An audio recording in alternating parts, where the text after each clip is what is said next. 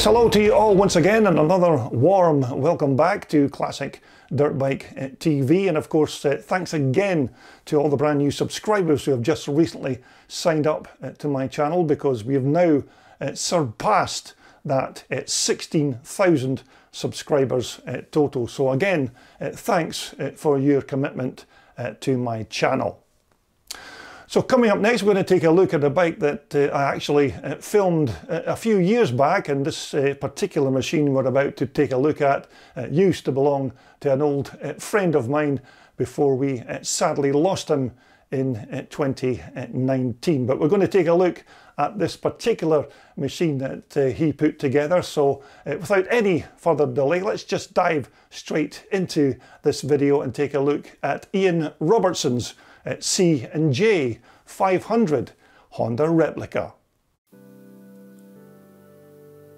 And so this uh, fantastic looking uh, C&J Honda 500 was uh, a bike that uh, was built and raced by my old pal Ian Robertson some years ago. And when Ian raced this bike during the 2011-2012 racing season, it brought him plenty uh, race wins and championship uh, successes. Now, the story goes that uh, Ian always had a hankering to own and race one of those big uh, four stroke HPF Hondas uh, after he saw one uh, on the racetrack at the uh, Kendal Classic Nostalgia Scramble a couple of years before. Although, uh, when Ian actually found out what a fully blown HPF horsepower factory four stroker cost, then he had to have a complete rethink and try and look for a cheaper option. And so, although Ian uh, couldn't buy or even build an HPF original, uh, Ian uh, thought that another option was just to buy an American-made C&J chassis and swing arm kit and then build his very own interpretation of one of those iconic HPF bikes, using, of course, as many Honda parts as he could lay his hands on and that his uh, limited budget uh, would allow. And so Ian's uh, first port of call was, of course, a phone call uh, to the C and J uh, Racing Frames company in the USA, who uh, make and supply the chassis for these big HPF Hondas. And soon after Ian had handed over his two thousand pounds uh, for the chassis and swing arm kit, uh, he awaited uh, the delivery of his uh, skeleton frame and then proceeded to search in earnest for all of the remainder of the parts required to complete his HPF replica machine. Now, Ian did tell me that the wait for the delivery of this C&J uh, chassis from the USA, uh, Ian said was a very long and drawn out affair and at one time he never even thought that it would arrive at all, although uh, after many months of waiting the finished chassis and swing arm uh, did arrive and was it was now all systems go for Ian to try and get the bike ready for the brand new racing season which was really only a couple of months away. But these uh, steel C&J uh, chassis are certainly quality items and uh, as I said they come uh, complete with all of their associated uh, swing arm and other uh, bits and pieces and normally you can have them painted in whichever colour that takes your fancy or you could have them delivered without being painted so that you can put your own colour scheme to your brand new project. And so after uh, Ian had the chassis all sorted out, and uh, next up was, of course, the bike's power plant. Although at the time uh, of the build, uh, Ian never really had an engine for his new bike to hand, but uh, as luck would have it, it just so happened he managed to speak to a fellow racer who said that he had uh, boxes of old XR500 parts that he didn't uh, require anymore. And uh, when the seller uh, told Ian that he would take uh, £50 for all of the boxes of parts, then uh, naturally Ian uh, grabbed the entire lot uh, post haste and loaded them uh, quickly into his car and then left the, the seller's premises, wheel spinning the back wheels of his car in the process, hoping that the seller hadn't made some kind of mistake with his £50 uh, asking price. Anyhow, uh, all of the associated parts uh, to build this XR500 engine uh, were more or less uh, all intact and in uh, quite good condition. And apart from maybe renewing some of the internals, like bushings and bearings and gaskets, Ian had certainly secured himself a surefire bargain and a pretty sound Honda four-stroke motor to power his C&J uh, twin shocker. Now, although Ian never really built the motor himself, he'd uh, sent the boxes of parts to classic dirt bike builder uh, Rod Spry, where uh, Rod uh, then built the entire bottom end of the engine with uh, new bearings, uh, crankshafts, and uh, Carrillo conrod and piston, etc. And the gearbox and clutch and transmission side was also all uh, refurbished by Rod, and then uh, the motor's barrel underwent some very light tuning and uh, gas flowing as well before the entire uh, completed part of the bottom of the engine was then returned to Ian to rebuild uh, the top end. And uh, soon after, Ian had finished rebuilding the top part of the motor. The engine was then all finished off with a, a nice coat of heat resistant it's silver paint on the bottom end, while uh, the top end, uh, the barrel, was uh, then decked out in uh, matte uh, black.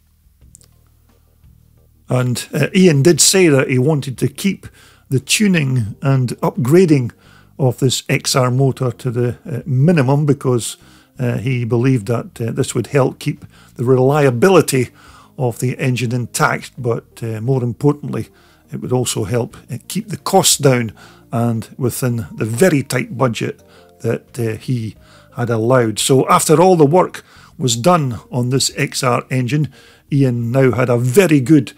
power plant to fit into his new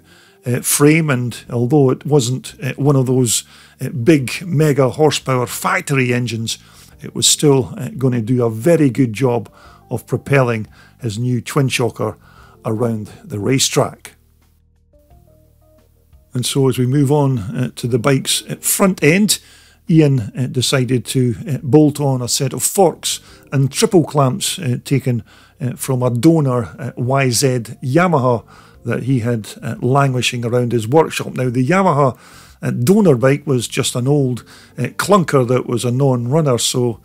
Ian made good use of the bike's front end uh, for this uh, project. Of course, the front uh, fork legs were all completely dismantled and then refurbished and rebuilt with brand new internals,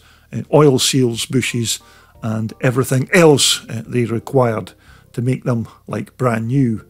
once again. Now, the front and the rear uh, brake hubs are again uh, from a YZ uh, Yamaha, which, as you know, uh, these are pretty decent stoppers for an older drum brake uh, system, and uh, these front ones in particular here are the twin leading uh, shoe variety, and these uh, were all uh, sand blasted and powder coated black before they were then relaced onto a set of brand new alloy SM Pro wheels, which were all laced and then trued up by local wheel building genius uh, George Spence from uh, Cupar in Fife, uh, not too far from where uh, Ian lived. And again, uh, the rear hub uh, underwent basically the same treatment as the front, and once more, this magnesium rear brake hub and brake was good enough to stop a 490 YZ Yamaha in full flight. So our uh, C&J 500 here shouldn't have too much of a problem if it needs to stop or uh, slow down. And so to uh, sort out the bike's rear suspension, Ian decided on fitting a pair of these uh, vintage uh, Fox air shocks onto the back of his new creation, which he says are uh, quite simple in their operation and uh, reasonably reliable. And again, of course, uh, much cheaper for parts and to service than maybe a more expensive pair of uh, piggybacks. But again, these old school air shocks, uh, invented, of course, by the great uh, Bob Fox back in 1974. And uh, these have a decent reputation for ruggedness and reliability. And uh, as I said, uh, these air shocks have a lot less uh, moving parts and internals than your conventional uh, gas and spring units, but nevertheless, they still work very well on these kind of twin shock off road race bikes. Now, I'm sure you're already aware that these XR 500 four stroke engines uh, are a single uh, cylinder, but uh, they do have a twin port cylinder head, and uh, the header pipes that are fitted onto Ian's uh, engine here are a set of stock XR pipes that have been uh, painted in matte black. Although at the time of the bike build, Ian said that he never had an exhaust tailpipe uh, for this bike, so he then uh, called upon his metal shaping and welding skills uh, to fabricate this megaphone type tailpipe, which he then bolted on to the single connecting pipe that came from those uh, twin headers. But as you can see, it all fits together uh, perfectly and it sounds absolutely fantastic when that XR motor bursts into life. Now, when it came to the front and rear mudguards, uh, Ian uh, sourced these parts uh, from John McCrink at Classic Off Road Supplies in uh, Scotland. And again, uh, these were just a simple, uh, straightforward bolt on to the CJ chassis. But then again, that's the beauty of these universal plastics in that they can be made to fit just about any make or model of off road motorcycle. And uh, once more, because uh, this was a budget build, uh, the price of original HPF uh, side panels were certainly beyond Ian's financial uh, budget, not to mention that they're uh, quite hard to source anyhow. So Ian again put his fabrication skills to very good use by making a pair of side panels from an old piece of plastic that he had lying around at the workshop, but he said that uh, if and indeed when he could afford uh, proper HPF parts, then he'd uh, remove these and replace them uh, with the correct uh, panels. And so, as we move on to the business end of Ian's new bike build, we have a pair of uh, modern style Pro Taper handlebars and grips, and as you'd expect, all of the bike's uh, clutch, front brake, and throttle cables are all uh, brand new uh, items. Now, also on the clutch side, we have an all important engine kill switch in case of any issues with that XR500 engine and it needs to be shut down in a hurry. And uh, also, we have a decompressor lever there to help you get that uh, high compression four stroke motor into just the right place uh, to get it uh, fired up. And uh, also a decent gasser throttle twist grip to help you tame that powerful XR500 engine and the reputed 36 horsepower or so that these big four banger engines are said to pump out uh, at, at, the rear wheel.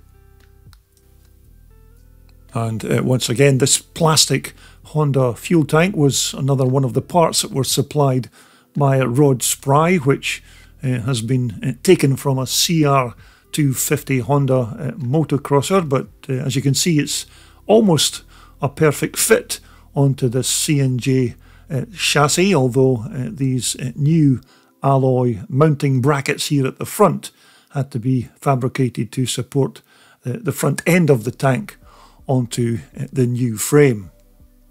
But with the brand new tank all nicely fitted with its new Honda graphics, it does look like it was uh, custom made to fit directly onto this C&J uh, chassis, even although as I said, it did come uh, straight from a CR250 uh, two stroke uh, Honda machine.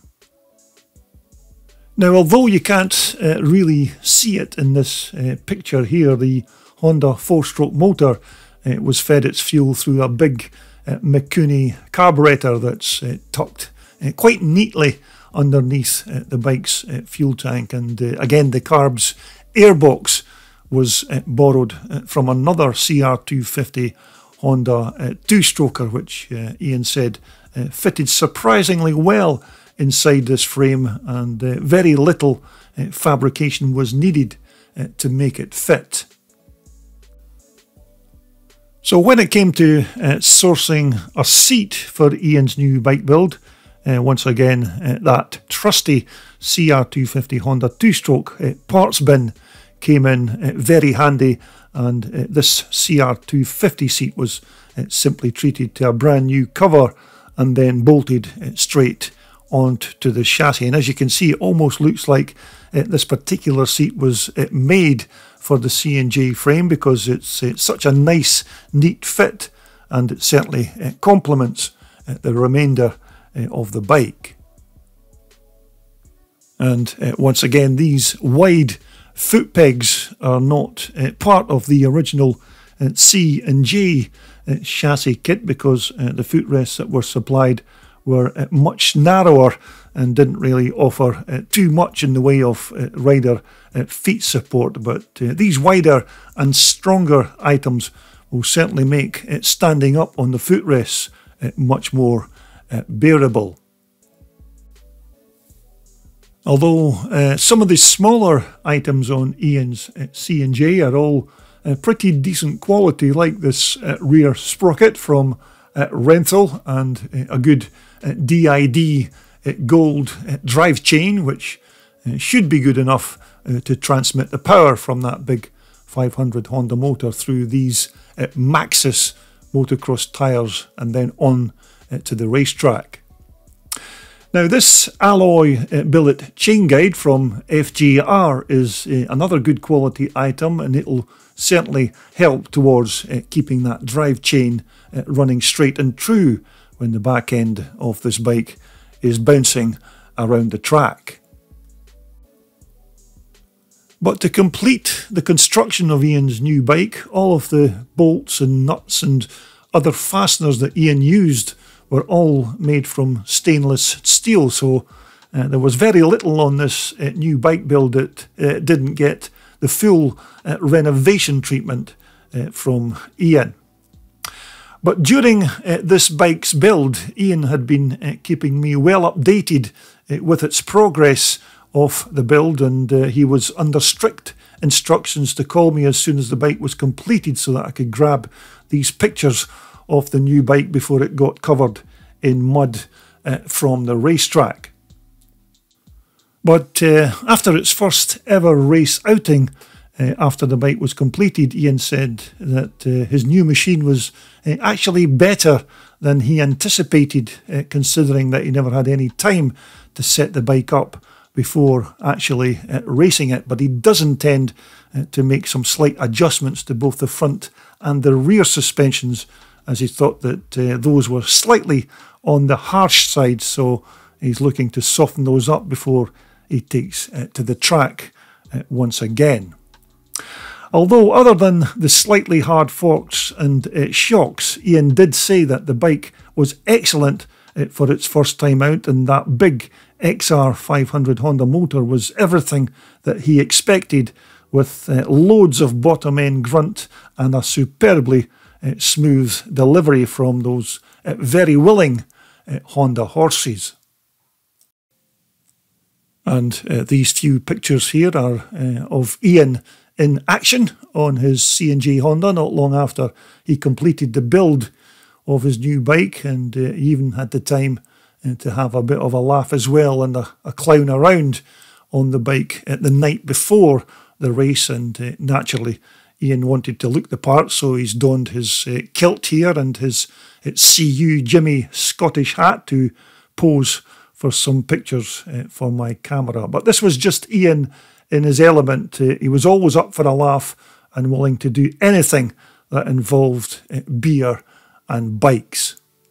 And this particular picture of Ian here is quite an iconic image and a good memory of the great man and his uh, C and J Honda. Although I do remember at the time I took these uh, pictures that uh, Ian told me he never actually sat down and calculated the cost and the time that he put into the build of this uh, machine, but he said that was never really part of the reason that it was all done because his main intention was just to set out to build an HPF Honda replica to a very strict uh, budget, and he wasn't for a single minute fooling himself that this bike is anywhere near the looks or the power of a genuine HPF Honda, although you have to admit, uh, taking into account the time and the money that Ian spent on this build, he still uh, got himself one little cracker of a motorcycle.